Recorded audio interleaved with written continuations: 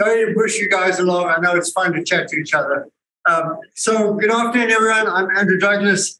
I'm the Executive Vice Dean in the School of Engineering and Emeritus Professor in uh, Mechanical Engineering, where I got to play with really good guys like Kevin. Um, so, welcome to the 2023 Billig Croft Lecture.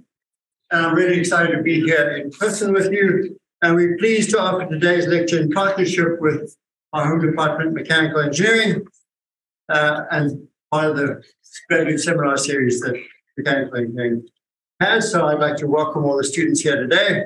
Um, so I'm not actually going to introduce today's speaker. I want to talk more about Gordon Croft and uh, Fred Billig. Uh, essentially, these are two wonderful alumni of the Whiting School. And I want to specifically welcome the Croft family in cyberspace. Um, so that's the magic of post um, COVID times. Uh, Gordon graduated uh, from Johns Hopkins in 1956. Now, most of you think that I was a full professor at the time, but I was not here yet. So, um, anyway, he got a bachelor's degree in industrial engineering and then built a remarkable career in finance, uh, including the establishment of a highly respected Croft Leominster Investment Management Company right here in Baltimore, uh, which he managed with his sons, Kent and Russell. Now, the important thing about Gordon is that he has a true uh, appreciation for the overall importance of engineering in our society. He thinks deeply about things that are important to our nation and is passionate about being a catalyst for change, positive change. He cares about the work being done here at Hopkins, and that's why I really appreciate him. And he stays involved with our programming and people on a regular basis. And actually, it's broader than just a whole bunch of things. So, John Rearman sitting over there, uh, Gordon was very influential in stuff John did, and so on. He is a terrifically loyal supporter of the Whiting School in many ways. Uh, not only because of this lecture, but there were some scholarships he established um, for his home area, Port Tobacco in Charles County, and um, he's provided generous and what is important to him, flexible support um, to invest in interdisciplinary programs. And he's done so much for the school that we decided to name Croft Hall in honor of Gordon's many years of wonderful commitment and generosity. So thank you to Gordon and thank you to the entire Croft family for the foresight you've got in establishing this lecture and for the foresight you have in supporting the School of Engineering, which is going from strength to strength. Gordon is always thinking about the most meaningful ways to give back to the school. And I know this lecture in honor of his friend and mentor, Frederick Billig, is a special place to Gordon. So, just a quick word about Fred Billig. He received his undergraduate degree from Hopkins in mechanical engineering in 1955. And then he went to the applied physics labs. And here is where the connection is made with our speaker today and with Kevin Hemker.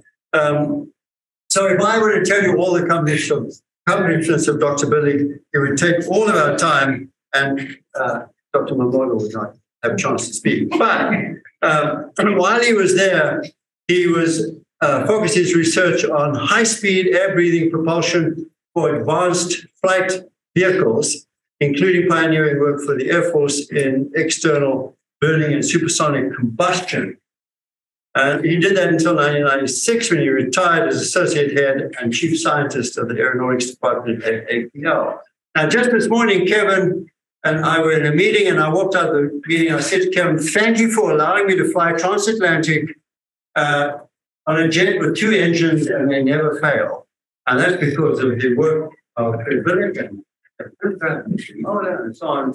These materials are good these days, right? I mean, you can even drop your phone and so hot. I don't know how you do it. Anyway, um, in the spirit of generosity that Frederick Billig embodied, Gordon Croft created this lecture to bring inspirational people to our campus in the hopes of motivating our students, the faculty, students in the back, back in front, um, and members of the Hopkins community in cyberspace. So without further ado, let me ask Kevin Hemker, who is most importantly my colleague, but also the Decker chair and professor of mechanical engineering, the few use today's lecture. I'll let you.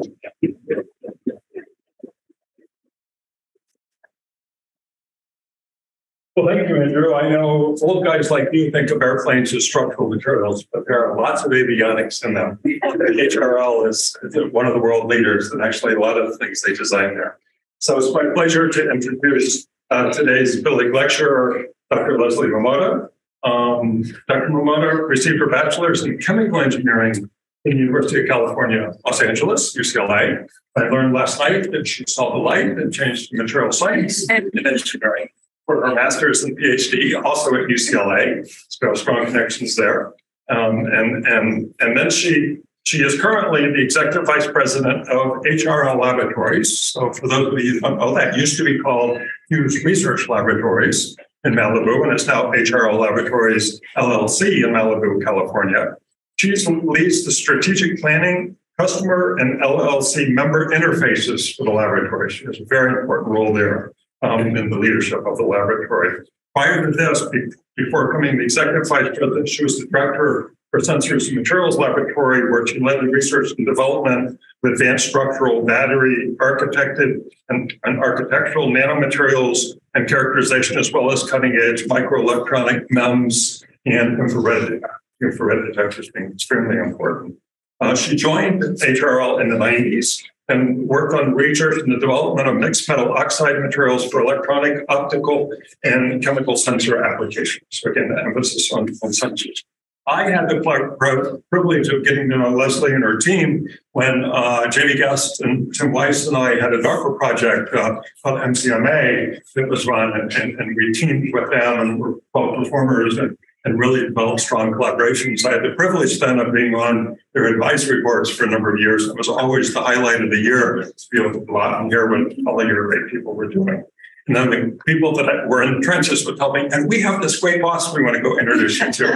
and that was a, a, boss that was a great leader as well as a great scientist and visionary that could understand what they were doing. So with that, I said, I've got to find a reason to get Leslie to Hopkins. And we finally got her today. So thank you for coming and the floor is yours. Thank you, Kim.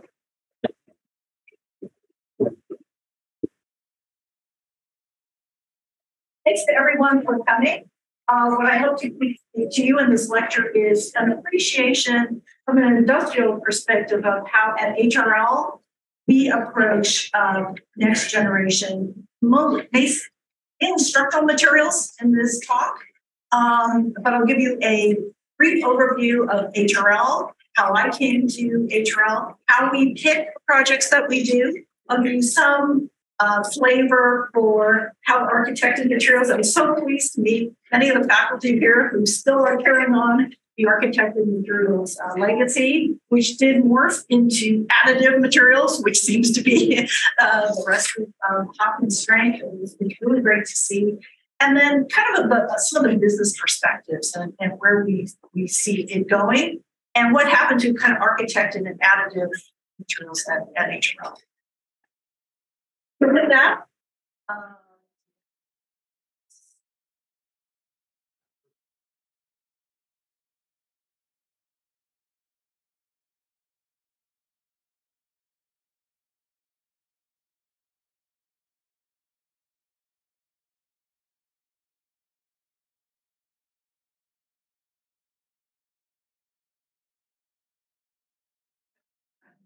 All right. So, um, as Kevin said, I am a material scientist, chemical engineer by training, and I have been at what was the Hughes Research Laboratories and HRL Laboratories for 30 years. Um, and when I started, I was a researcher, just like many of you. Um, and I started in inorganic materials. I started a group um, that did kind of exploratory nanomaterials, but I was in a group that service a military electronics. And I scratched my head as to how to be effective um, as a inorganic material scientist in a company where lasers and semiconductors and, and things like that were, were really, really important. Um, that's how I got into strategy. Um, and from there, um, I, I on a series of management changes, mainly because I asked a lot of questions and then when you ask a lot of questions, then they make you solve questions that you ask, and that's how you apparently get promoted. Um, and so um, now I'm uh, executive vice president, which means I have to um, uh, help sponsor and, and, and facilitate the research across the HRL enterprise. Okay. Um, but just to kind of summarize my perspective and career overall, really a lot of what I try to do is to look for what I call the, the white space. Thank God most of you are materials and mechanical engineers, so I can show an actually plot and, and not have to explain what that is. But basically, I we, what makes the best projects from my estimation are projects that hit a area in the Ashby chart that is not covered by conventional materials. And I usually look for attention in the system. So uh, what I'm showing on this slide is our, I wouldn't say ill-stated, but not wholly successful work in morphing materials.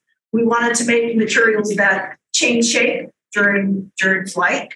Um, and if you can see on the low end, right, of um, strain, you can have um, ceramics. They take a lot of load, but they don't stretch very much. And on the other end, you have polymers, which of course take a lot, give a lot of strain, but don't take a lot of load. And what we needed for a morphing profile for our aircraft was something outside of the okay. And this is where material science and mechanical engineering kind of came into it. The group that I work with came up with two different ways of, of approaching this problem, either through variable stiffness materials, either through a composite or a cellular part, right?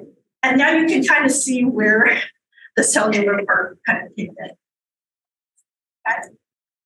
But um, so HRL Hughes Research Labs, just a little bit of background here. It started as Howard Hughes's research laboratory, right? It has a very storied career of trying to do firsts. And that's what I was trying to influence uh, coming into the Hughes Research Labs. The laser, um, Ted Maiman was a, a, research laboratory scientist. His lab's still there. There's a char mark where the laser got away and burned a hole. We still keep it because we're very proud of that. But um, right, the laser, uh, the first focus ion beam, which is shown on this chart, ion propulsion, um, actually liquid crystal displays. Those were all things that the Hughes aircraft and Hughes Research Labs sponsor. Okay.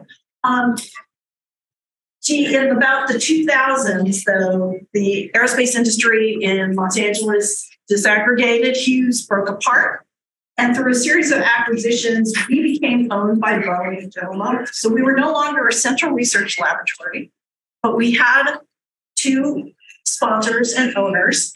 And um, I didn't work for a military electronics company anymore. I actually worked for companies who were really excited about structural materials and inorganic materials. So that was uh, great for me, kind of dumb luck. But um, that's how that happens. And you can see our portfolio going forward from there is a little bit more diverse, right? It's materials, it's certainly electronics to be sure, but you see things like um, memory stimulation and um, neuromorphic chips, right? As we served a, a broader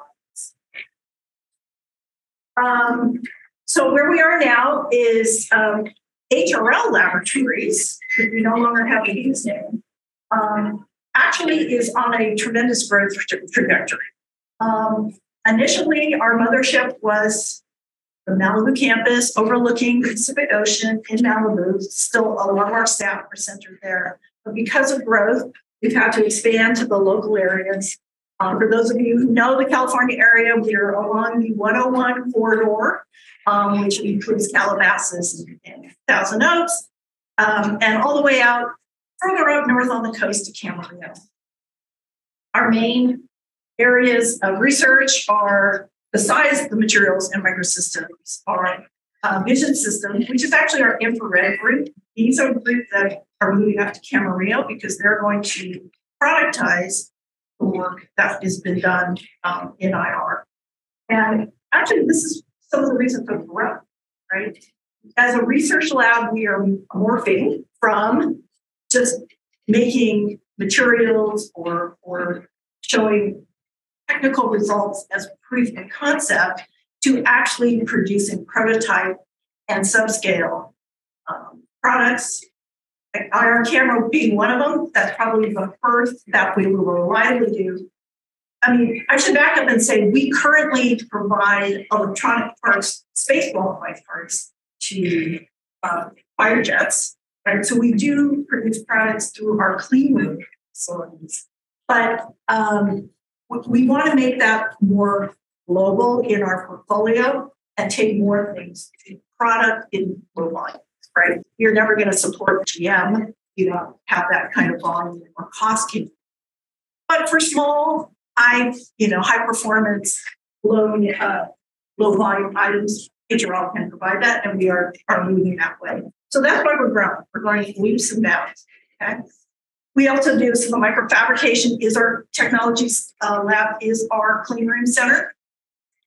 Sensors and electronics, our heritage in, in electronics, optical, and sensing materials, and then intelligent systems, um, our computer science and, and robotics. Okay. Um, the whole slide is we tout our product as being packs. But as, as I said, we are moving to low scale um, product. Um, so it's not just about pets anymore.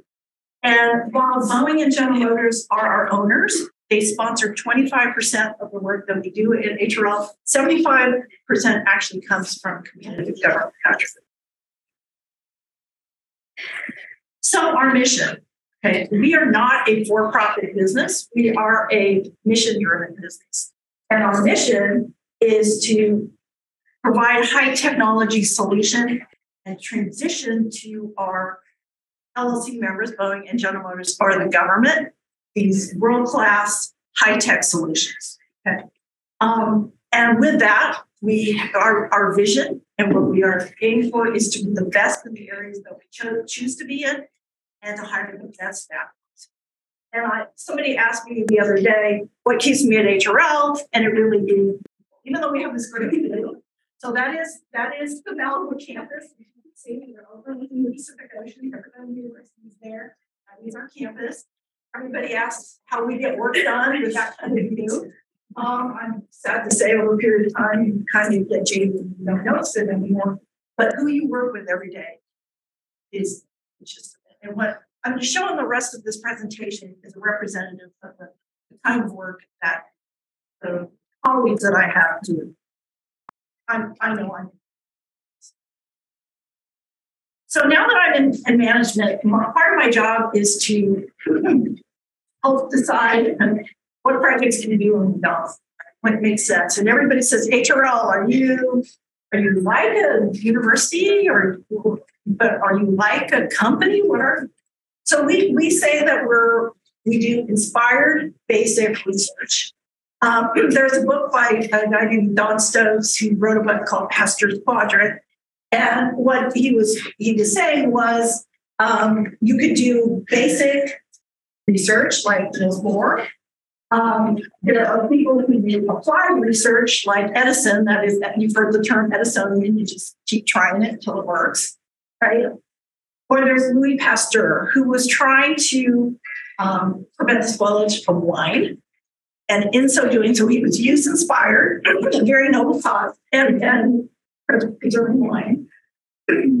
But he invented microbiology, excuse me, to address this need, right? So he had a reason for doing it, but he used science. And, and what we do is some of you may about it, both with DARPA, you're very familiar with DARPA. So we do use what we call the Heilmeier criteria, which George Heilmeier was a former director and was on our board actually for many years. And he came up with a set of questions, and they seem very simple, but they're very complex. Correctly. Why would you want to do this project? What makes it different? How, why is you know how's it done today, and why would this make a difference? You know those sorts of things, and we, we do ask every researcher to address these questions. Before, um, when, when proposing. So in the day of a researcher, what kind of projects can they work on at HRL? And it kind of speaks to our model. We are, we are called a leverage model, right? So we take money from a lot of different sources, um, but we pull it together to create a capability. That allows us to take risks. Okay. So some of you have asked me today, hey, you're owned by Boeing and General Motors. They have their own research labs. Yes, in fact, they do. But they are tied more closely to the profit centers of their business, right? They have a place out in Malibu who they they sponsor at half of the cost, right, for the ownership, plus gets you know tremendous amounts of money from the government to augment that capability. So every dollar that they put in, right, there's a leverage, there's a there's a factor, tremendous factor on um, people putting into HRL to solve a, a big problem, right? So that encourages us to take risk, right? So you, you're constantly looking for really interesting things, things that are different. Again, going back to the Ashby plot, something that moves you into a white space, right? Not just moves you along that. Okay. Um, we have internally sponsored R&D um, at our laboratories. This is the one where we say swing for the fences. Try it. You know, it, if it doesn't work, great, fine. But we have a reason to try it. Let's do it. Many times this pans out. Some, a lot of times the crazy ideas that people come up with actually do work. And then we tend to go to the advanced project agencies. DARPA would be one. MCMA that Kevin referred to was just that, right? We, and I will show the last materials that we tried. We go, oh, this, this actually looks like it will work, you know? And, and then to the sponsors there and go, what do you think? Right? It might open up a whole new paradigm in material science. We started okay.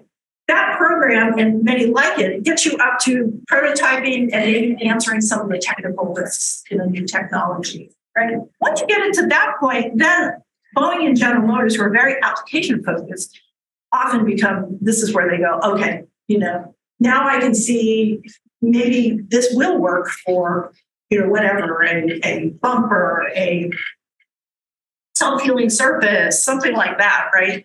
And then um, they will now we will do research to test it against a aerospace or automotive application. Um, for materials, suppliers always matter. Okay?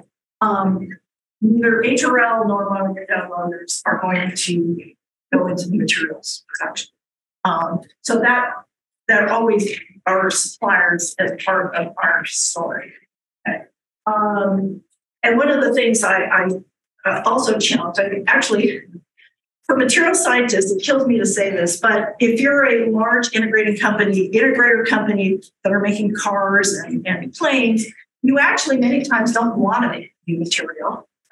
You want to have your supplier do it and, and, and bring it to you. And you want to trust that what they give you is perfect and just the way you specified it. And um, so, actually, diagnostics is a really important part of that story.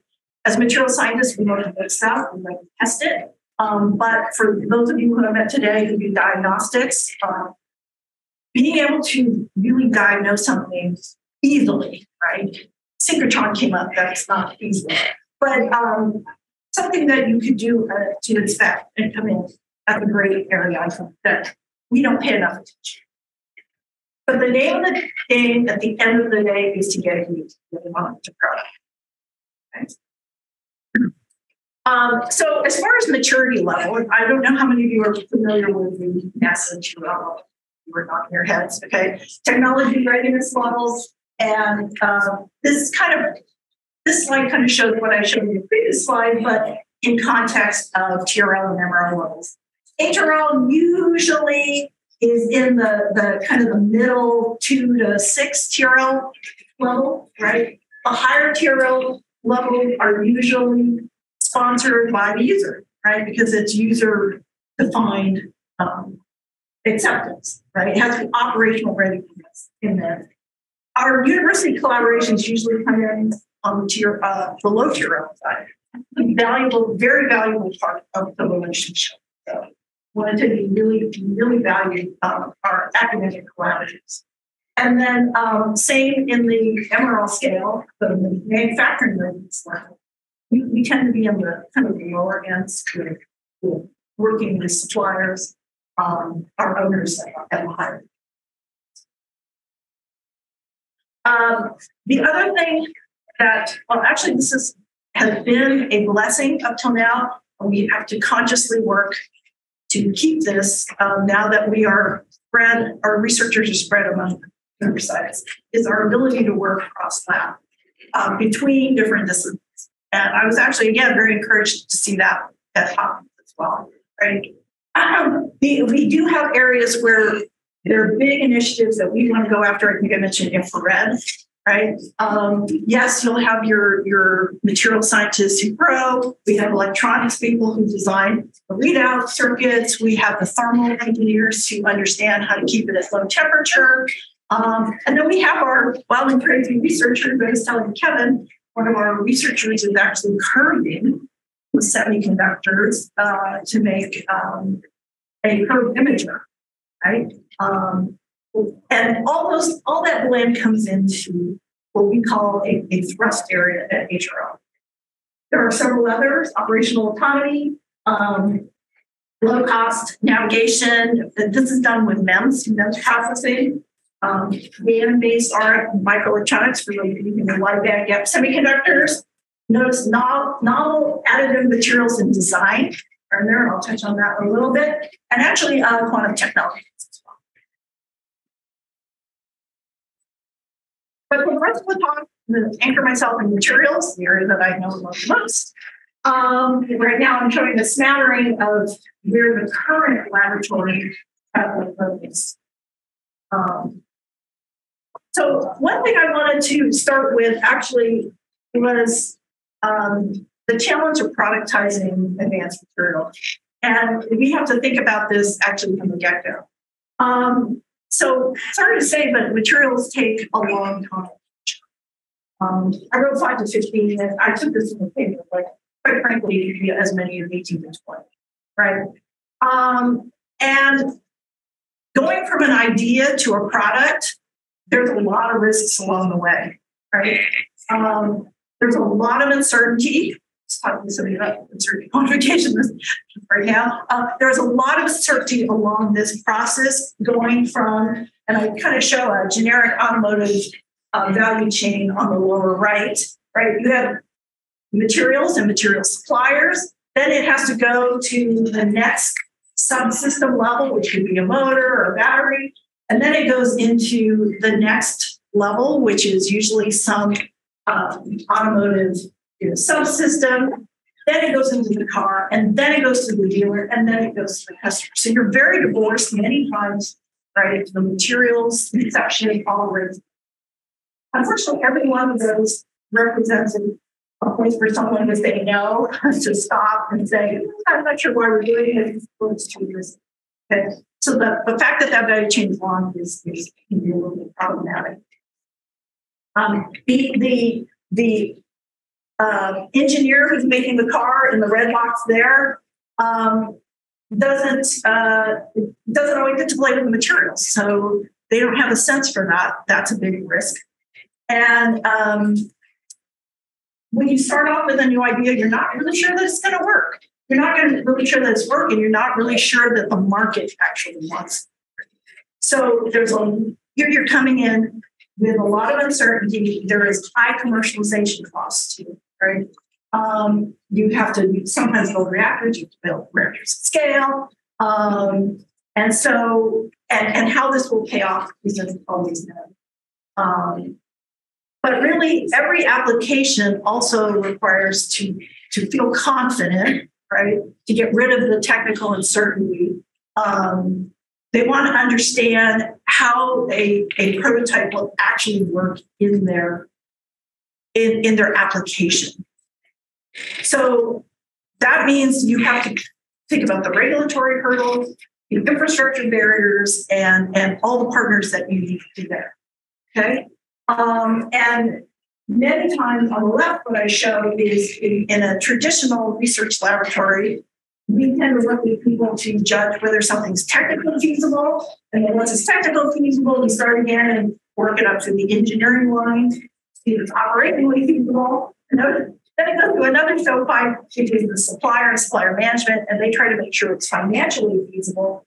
And then it comes down again, right?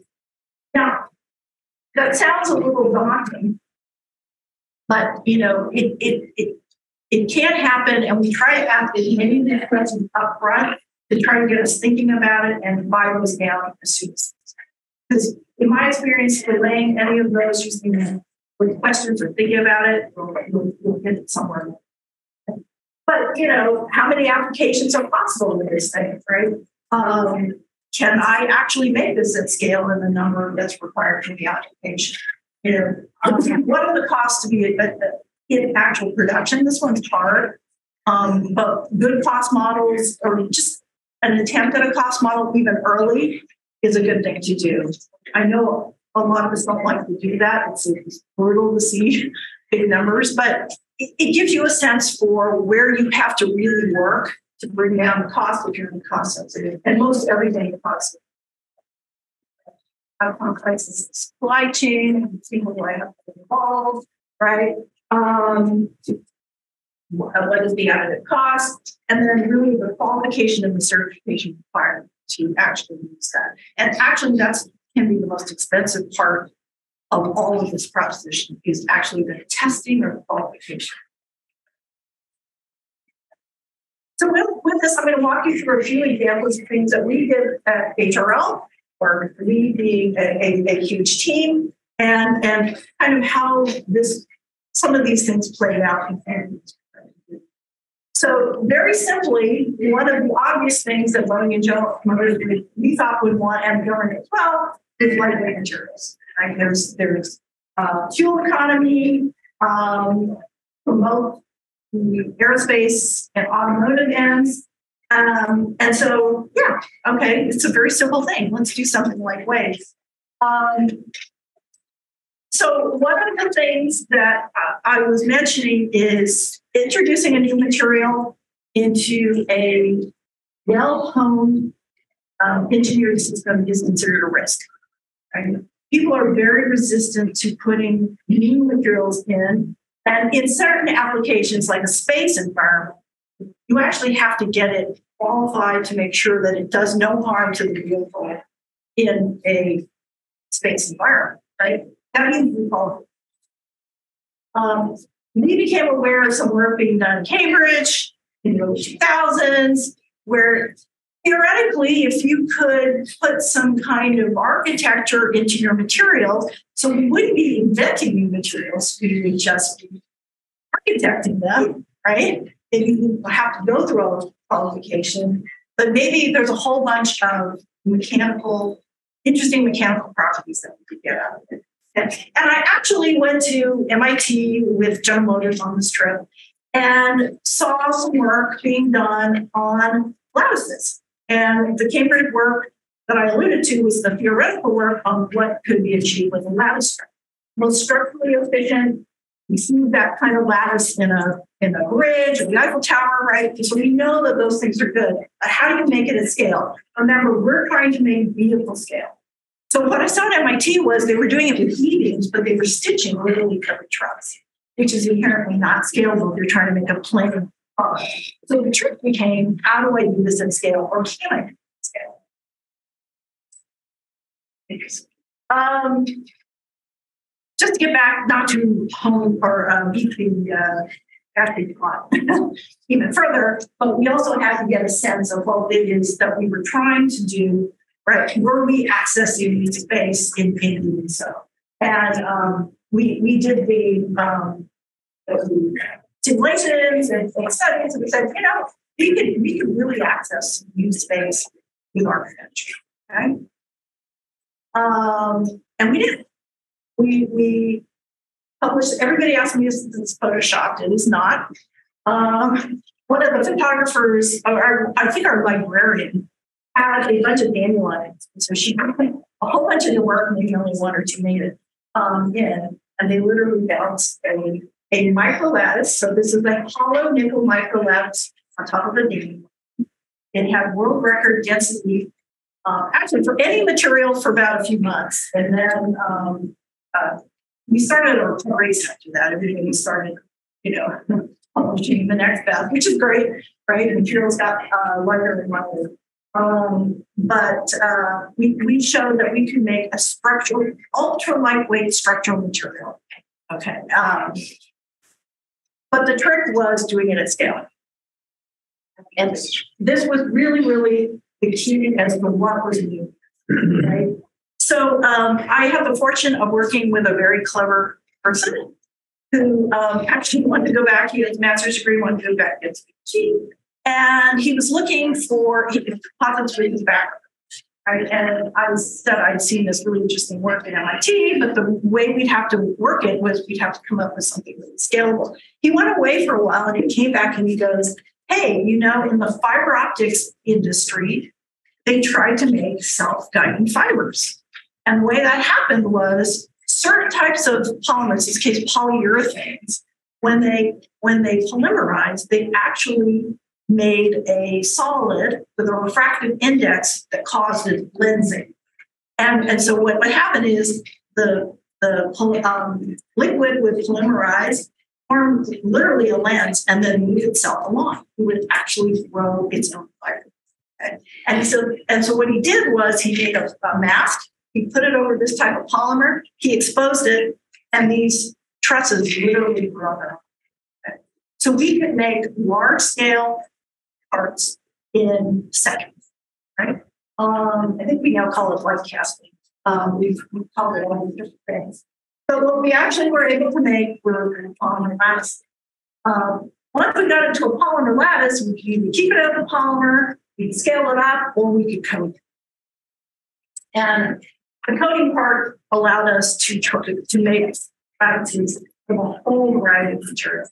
And we had a lot of fun a while, coding everything we could think of and measuring the properties. Um, this is actually a material science and mechanical engineer's dream, just making a bunch of stuff and testing. Um, but we found that we could make many, many uh, materials into a lattice type structure uh, through a variety of means, right? CVD, electroplating, um, we even did lost wax casting, which I don't think was elegant, but you know, we, we wanted to see what the limitations. Um, so the beauty in this is it allowed us three levels of hierarchy, or in engineering terms, three levels of control. Right? We could control the, the lattice unit cell, we could control the um, the tubes and, and angles, we can control the thickness of the uh, of the film on the on struts, right? And with that, we could access a variety of properties. And that control is really something that we, we everything try to, to make a process better. So once we started to make these, then became okay, but how much can we model this, right? Um, and we actually spent a fair amount of time doing everything, obviously, from the atomistic materials modeling but we actually spent time modeling the polymerization reaction. Um, and with the goal of, I want to dial in from the get go, here's the property I want at the end for my structural material and, and dictate all the parameters that have to be true always. And, and actually, we did a pretty good job of getting there. Um, uh, the other was really the, the mechanical right? And I, many of you here know this now better than, than I do. Um, um, what kind of architecture do what kind of properties, but there, there was a lot of research uh, done. And this is this is what we took to MC uh, to to DARPA and said, hey, you know, we think we got something. We think there's a new paradigm for how materials can be designed, and we think it's worthy of a of, of, of DARPA taking um, so they did. But from a business standpoint, we got really because we said, what can we make with this, right? There's all these business applications we, we do. Um, uh, besides just lightweight, making just lightweight um, bone replacements, right? We could make it out of preceramic polymers and make high temperature things. We could make net shaped cores. We could make padding or energy absorbing materials. Thermal came up, battery cathodes came up. There were a lot of? And, and remember in my slides, it's like, okay, how many businesses would be impacted by this technology? We have a lot. Okay. So one of the really cool ones was energy absorption. And here is where, again, the value of collaboration. We, uh, my group collaborated with uh, Lake Tony Evans, and he, he actually did um, some um, models and said, look, this a, a aluminum coated truss material would be the lightest energy absorber per unit weight of any material. Um, and the reason being is when you crush a micro, now it has to be down um, uh, on the face of it. But not only do you get buckling, right, but you get wrinkling. The, the, the strut itself, and that's a, an extra energy absorption measure that a non-linear structure will have. And that, that's why it was, so much better. Of course, we did this one too, and they started a um, blast protection program to try to see if we could make a very lightweight blast absorber um, for uh, army vehicles. Um, so,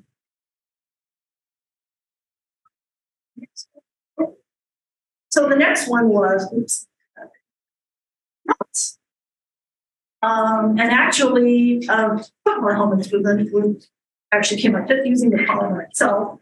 Um, I will tell you that um, uh, there was, uh, I haven't got to hold a NFL helmet. It's, I, I, I was aghast at how heavy these things are, but the mere mortals like us cannot wear that. You, you need a superhuman big guys. Um, but they're big and they're and for kids they're hot.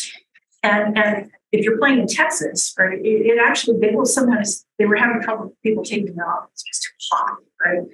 Um, they also had to have multi and so the reason they like the microtruss is that not only um, that it energy absorber, but it, because it's regular air control.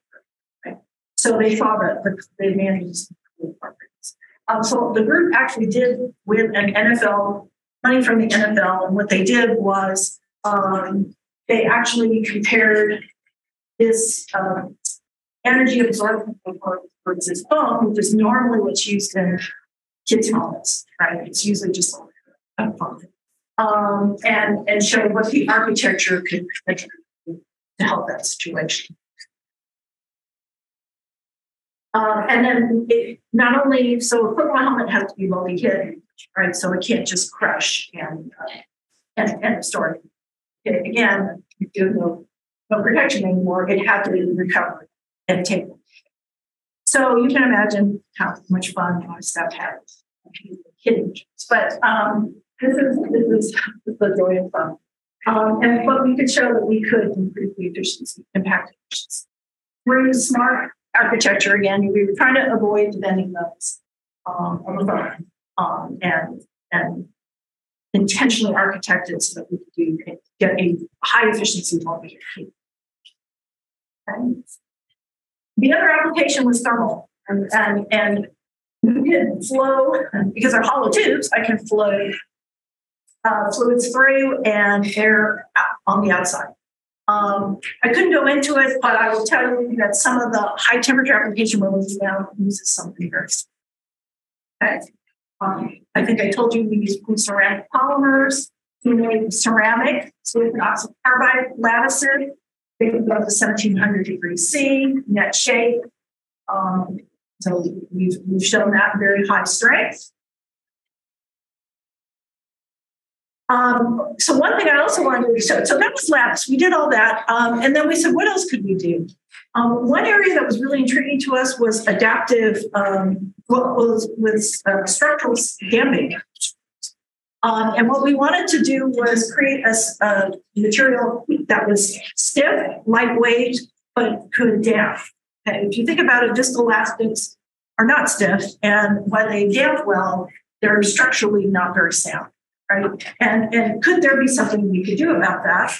Long story short is we came up with negative stiffness. And long story short is they're metastable structures that are actually made stable. Our folks like to say, think of a Snapple cap. right? You have this button that you push through. That snapping action actually absorbs energy. Okay. And uh, I talked to somebody earlier today, who showed me he can make springs. So this is kind of what I was going for, right? Through the clever engineering of a negative stiffness element with positive st- stiffness elements, we can actually make a lot of cool vibration. This is my challenge to you. Lastly, I will tell you, um, we made all these great structures, negative stiffness, and the person that we talked to at DARPA goes, "That's great, but how are you going to make it in volume?" And we said, "Oh darn, we got to think of a way of doing that." This is where additive came in, right? Could we additively print? But we knew additively printing meant using suboptimal material. So could we make it engineering relevant? Um, in fact, we could. Um, and I will say we targeted the uh, aluminum series, um, 6,000, 7,000, really 2,000 students as well to try to, what we had to do to get there was to overcome the problems that has of um, our stress fracture on, on, on cooling. And it all has to do with microstructure, right? How can we control the microstructure during the printing to um, avoid what happens is columnar grain growth. Right, liquid gets in grain, you cool it down, it shrinks again. Right. What we wanted was something equiaxed and well controlled.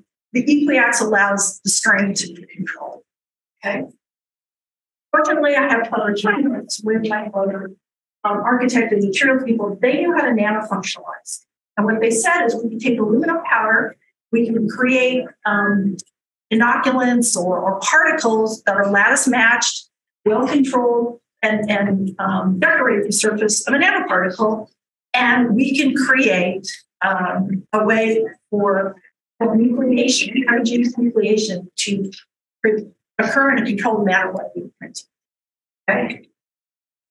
But that's so that's what they did. Um, they showed that they could do it with aluminum using very controlled dopings. Um, we went through a lot of study on control and manipulation and understanding how this would happen. Right, we want it to happen just right, just ahead of the solidification front. So there was a lot of engineering as how to do that. But bottom line is we were able to create for the first time engineering relevant aluminum materials. And um, we had great fun printing a lot of stuff as a result, and showing that we could do it I will say the mechanical properties are not exactly the same as, as So um, there's a little bit of work to be done yet, but it's good enough for many applications. So um, this is an area that is actively being worked right now. What works for aluminum also works for other alloys. It's, it, this technology works more globally. It can work for high temperature alloys. Um, again, can't show you all the work there for, for a bunch of reasons, but there are high temperature structures. where We compare high temperature metal with a printed or controlled force um, thermal um, insert to be able to achieve to accomplish materials that achieve very high temperatures. And, and this team has done that. So we've kind of married all the things that we've, we've learned. Okay. So some of the things we've learned, right? Um, it unfortunately took 15 years for us to go from the idea of the microlattice to actually getting it commercialized, used by actually the health industry. Um, so, um, right, there's a lot we can do upfront to um, figure out, kind of prioritize which which applications we should go. We got really excited when we hit waterfront. We prioritize the waterfront ultimately what caused problem was the cost. Right? The cost of the material was just enough high, higher than what other people usually use, so that the cost of adoption was considered a little bit too. Right? And that happened for, for most of the applications. Um, just trying to cover the composition of the material wasn't a good strategy. We went through the design um, a barrier to entry, preventing others from using it just because of the way or the composition of the matter. That barrier is too low, everybody can get around.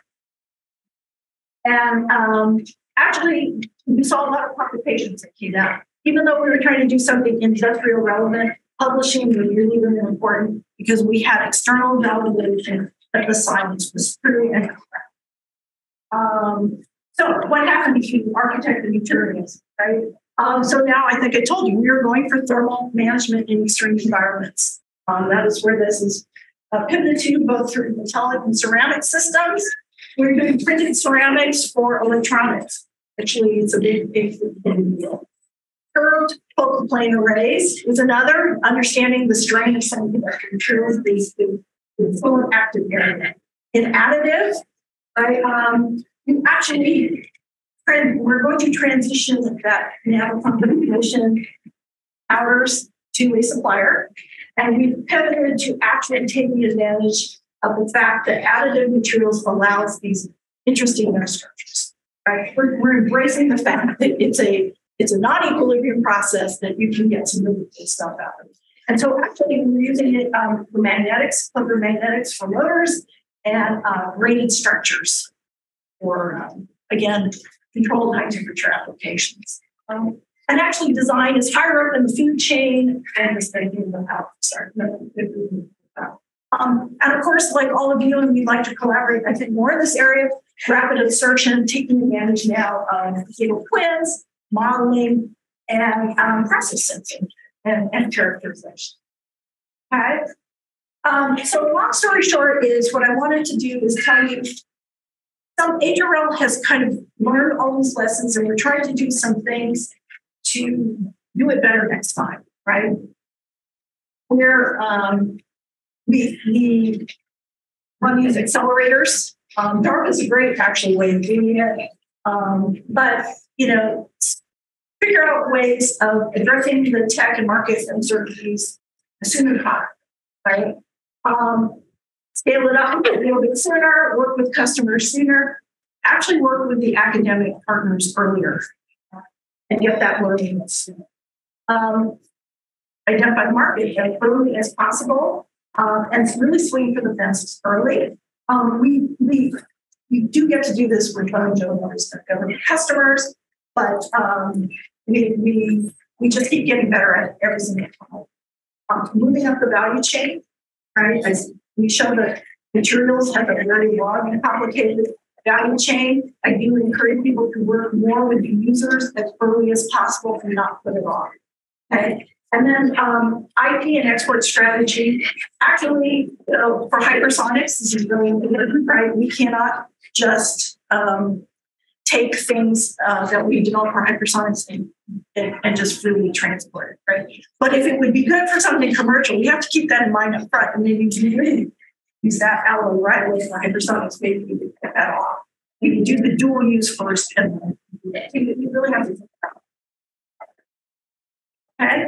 So what I showed you in the whirlwind was really how HRL looks at architecture materials, but it's really the efforts of a very large group. And these are just some of the names. Some of you recognize some of the names on here. Um, Bill Carter, Tony Shaffer, right? This is all their work. But really what was nice is this body of work allowed us to create a really um, exceptional team to work with and to collaborate with. And then our external collaborators, I think, really helped out. And um, we had collaborators at Harvard, we had collaborators Cambridge, and we had many, many, many collaborators. And, and that actually created a field, much like Pasteur's Quadrant, right, which is now giving and it continues to give. I'm really grateful to see that Hopkins is keeping up this area of research. Um, it, really is an important area. Okay. And with that, I'm going to, um, if anybody wants more details, I will leave the slides. We can read the papers. I'm not going to go into details anymore. Um, but really, um, this is this is the new back patio. Um, we are we are we are looking for world class scientists. So um, our website. Um, but with that, thank you very much for your attention. I hope you heard a little bit of, of the material business side of things, right? In, in the context that Hopkins actually plays a big part in, it, which is our So thank you very much.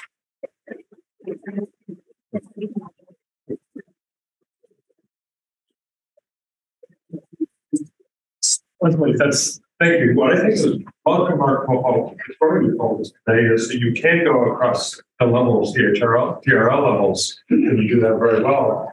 But I want to highlight to the audience the fact that we're way at the beginning too, the microlattices, when things are doing additive. When you're ahead of DARPA and you go to DARPA and say, you need to start a program, that's we've opened up a whole new field. That's remarkable. So a tremendous team, and like I said at the beginning, they have a tremendous boss. It's uh, working with them and supporting them going well. We take a few questions. Sure. Yes. Other questions? Hi, that was a great talk. I was wondering with the functionalization of the aluminum uh, particles, how uh, that functionalization changed if you reuse the powders and if that affected the mechanical properties that we're seeing in the prints. So actually, that's really, really a really good question. Actually, the reuse part is an important part of the cost. Um, on this down, um, it, it does degrade a little bit. Um, but, uh, I think depending on the application, it actually can be used. Um, if it's really, really high performance, probably not. But, um, we, we have done the studies to show that for cost reasons, you can recycle the powder, the unused parts, um, and, and we put it into the machine. Great, thank you so much. Yes.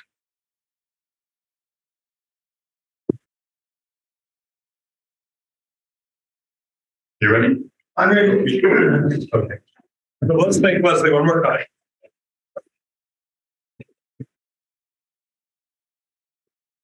So my job is just to say thank you, Dr. Momoda. Oh, thank you very So- much. um, marketing materials from Hopkins. So thank you very much for the lecture. Um, thank you very much to the Croft family and Gordon in particular, but also to all of you for carrying on this work and being such terrific scientists here at Hopkins. With that, I believe we're allowed to get some treats in the Great Hall, which is why you're all here. So thank you very much.